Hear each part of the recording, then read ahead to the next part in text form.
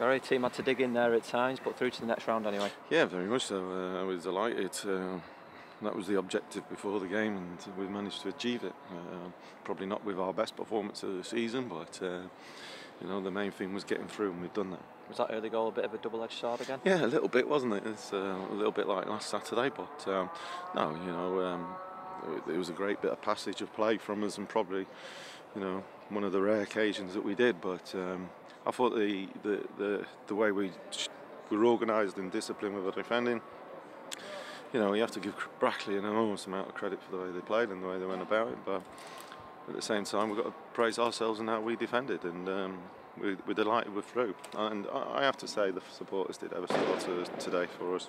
It was the first round where Jamille Matt scored his first goal for the club, and he's now on four with that one today. Yeah, he's in a great bit of form um, with his goals, and not just that, his, his link-up play as well. And uh, again, like like say, long may that continue because there are a pair of them are a handful. And it was his own awareness, wasn't it, to go and score that? Yeah, like I say, it was a great bit of passage of play from uh, Potsy and uh, Kelvin Mellor linking up, and you know the poacher's goal because I'm not so sure uh, Potsy meant to scuff it like he did, but there you go, and that's that's where he's he was he was right on the spot and delighted for him.